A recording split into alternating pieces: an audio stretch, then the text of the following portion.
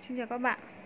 Hiện tại bên mình đang có các cái sản phẩm bẫy chim Bẫy cò, bẫy vạc Như keo chim sẻ này Keo bẫy cò, keo bẫy vạc. Keo chim sẻ của bên mình ờ, Có màu đen. Đây là một loại keo ờ, chịu nhiệt.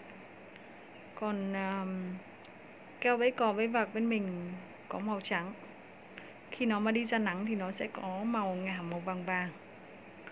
Hơi vàng. Đây là xào inox nha các bạn nhé.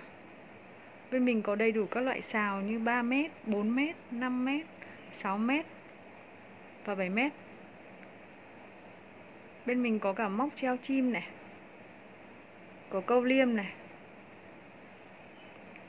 có túi đựng lồng chim này, túi đựng xào này bên mình có cả lan tre, lan cáp quang và có xốp đệm. Mong các bạn ủng hộ nhé.